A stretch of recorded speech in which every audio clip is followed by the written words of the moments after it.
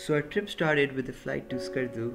Um, the flight is beautiful. We were crossing snow-capped mountains throughout, and at one point you're crossing Nanga Parbat.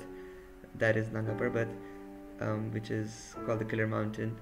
Uh, when you enter the Skardu Valley, uh, the, the landing is really technical. You have to make three or four rounds before you descend. Um, Skardu itself is absolutely spectacular. We went to Shangri-La. It's, this is lake, um, also called Lower Kachura. Um, really beautiful.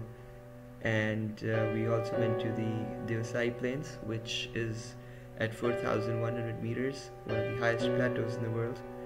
Um, really helped with our acclimatization. And after that, we started our trip um, with an eight hour jeep ride to Askole. And from Askole, we were on our feet for 13 days. Czy tam gdzieś będzie kres?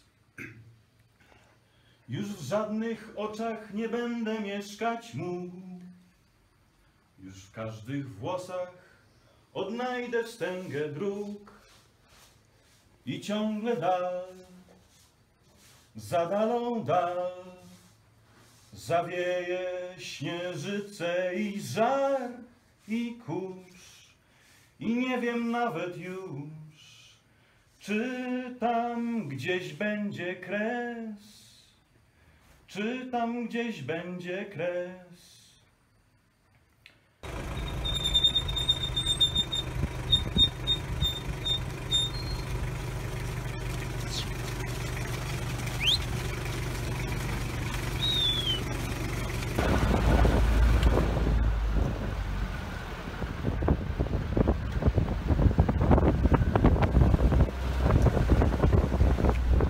Reached Askole and we camped here for a night. It's a 17th century village, um, and they have some houses which are still all set up in the 17th century.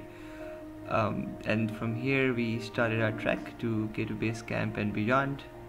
Um, this is at 3,000 meters, and we would be climbing all the way up to 5,600. We would be climbing 8 to 10 hours every day. Um, with some days, we would be trekking for even 14 15 hours. Um, first stop was Jhola, um, then Paiju, Urdukas, Goro to Concordia, and uh, then K2 base camp, and then to Ali camp.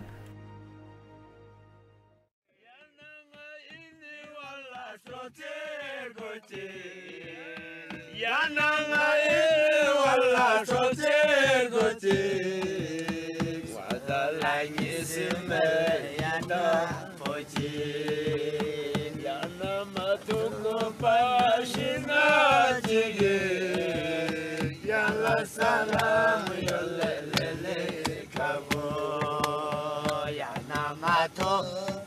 başına çıkıp Yalla salam yollelele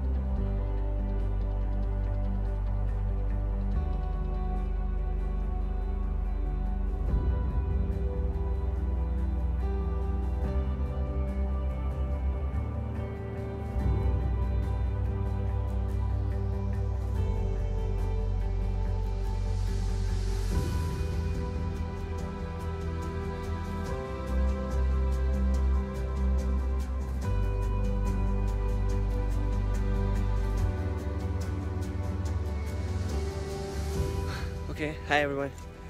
So we have been trekking for six days. This is our sixth day, and uh, we I, we have just crossed uh, the entire Baltoro, not the entire Baltoro Glacier, but most of it. Um, in distance, you can see the highest peak. That's Kwayu Peak. Uh, we've been walking beyond this.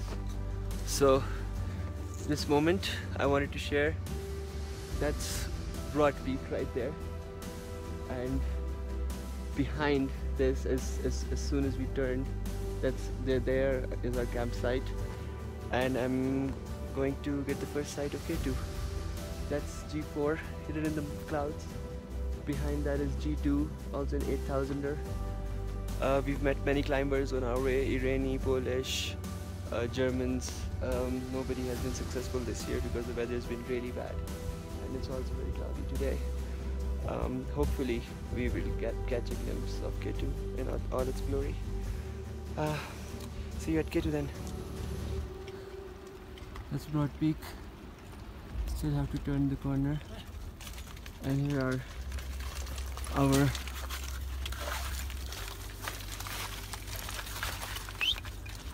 donkeys of Baltistan वालेकुम सलाम क्या हाल है आपके ठीक है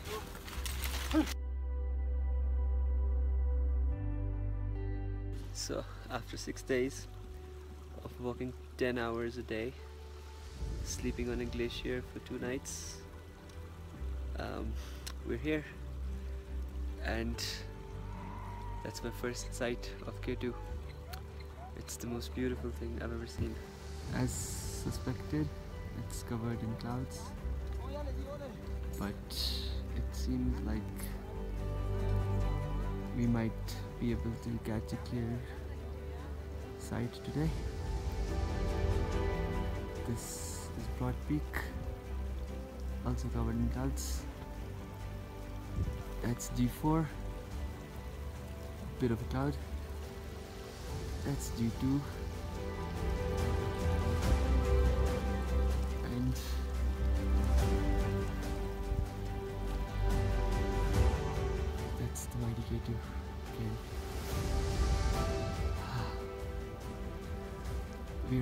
We're. It's like a party spot.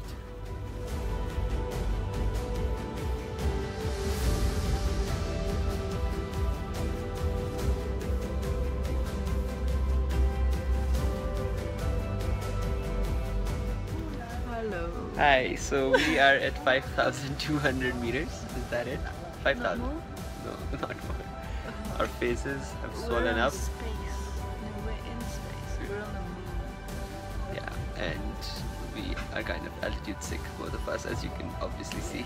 A little bit. And we'll show you why we have done all of this to ourselves.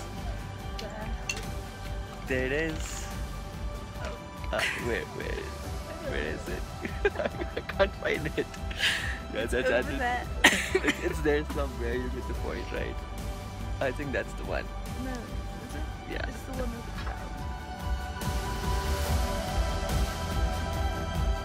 So today is day seven. Um, we camped at Concordia and now we're making a day trek to K2 base camp.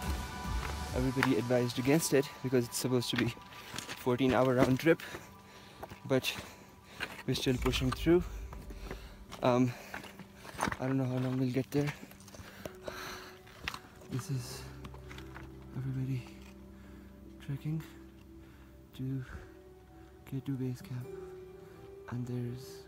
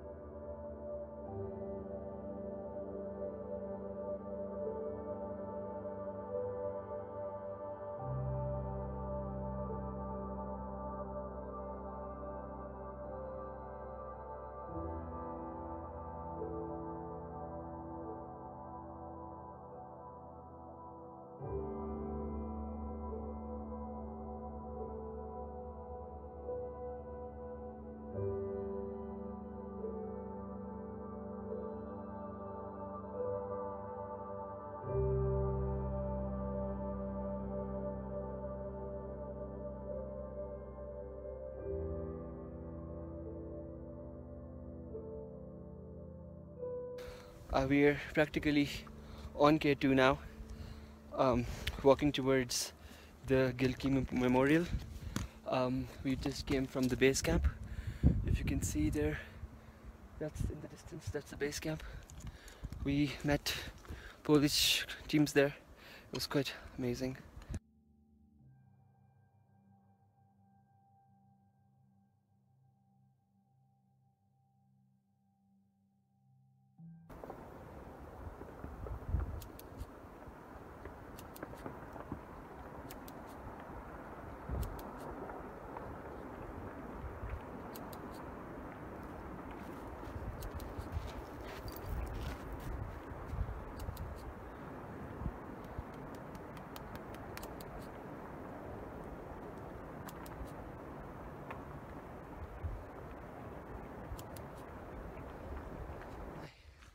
It's 5 p.m. and we left Concordia at 6 a.m. So we've been out for 11 hours. We've been stuck in the storm for the last two hours. Um, we still have three hours to go. It's really cold. Um, we're altitude sick still. And look at that storm. That's weird. That's what we're walking into. That's K2 behind us, obviously completely hidden. Let's hope we make it.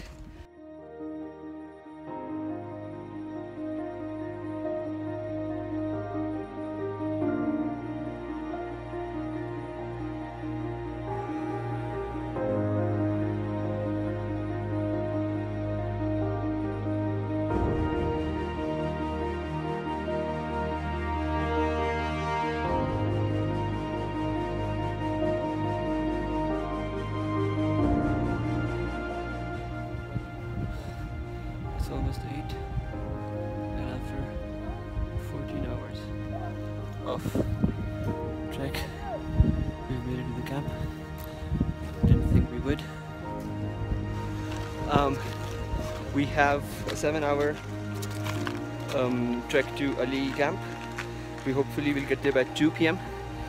and then that's going to be 5200 meters same as K2 base camp yesterday and then we will start uh, the Gondogoro La which is 5600 meters at midnight so we will be climbing all night hope to reach top of Gondogoro La at 5 a.m.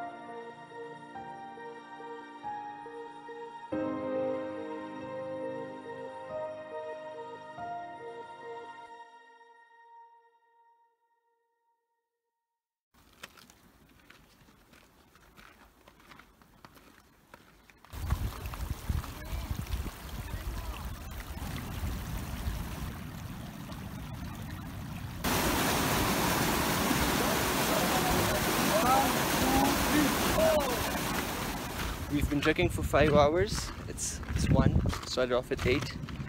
Um, I don't know, maybe another hour or two to go to Ali camp, and then at midnight we do the Gondogoro La, which is 5,600 meters.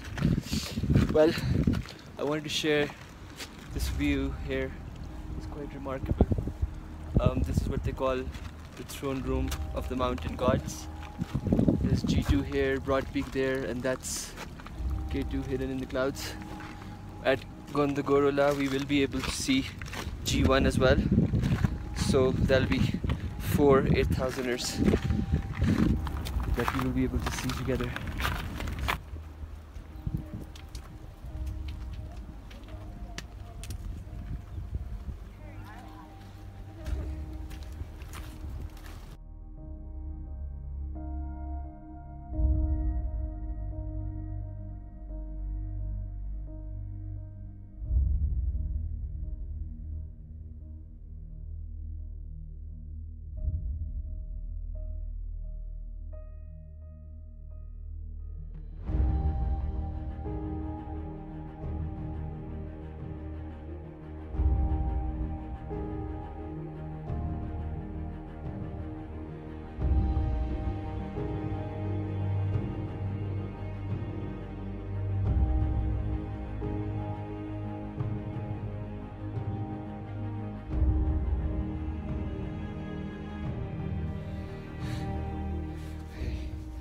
It's around 1 am. We're making our way to Gondogoro La. Expect to trek through the night and reach there by sun, dawn. You can see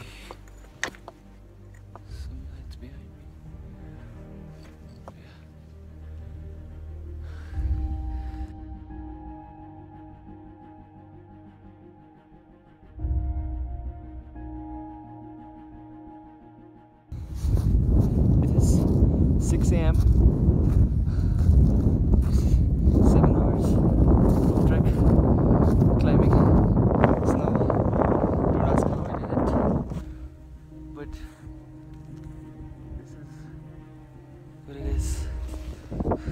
5,600 meters, severely altitude stricken.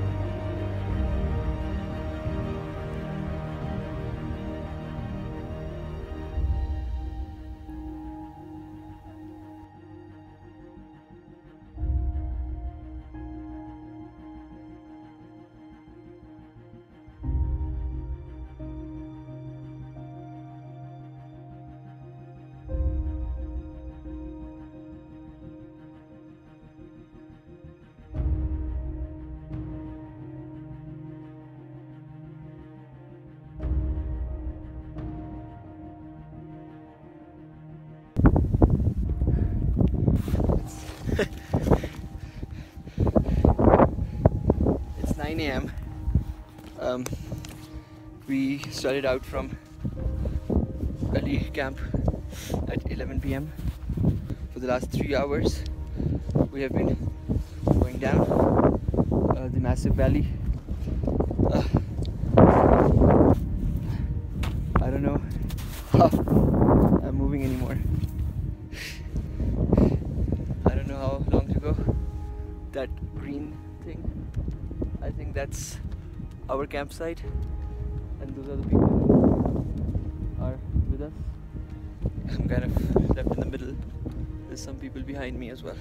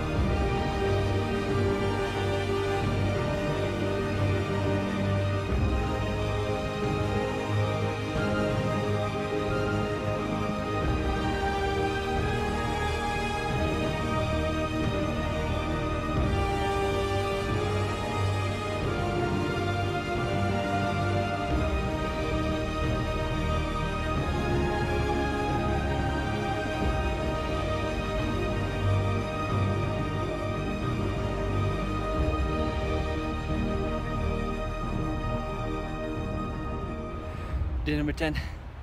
Been trekking for four hours. Um, another two and a half to go. Um, yeah, we've crossed along that glacier today, uh, but we're on our way down. Um, probably descending a thousand meters, but the trek gets better. It gets greener, flatter. No rocks. I mean, there are rocks, but some rocks.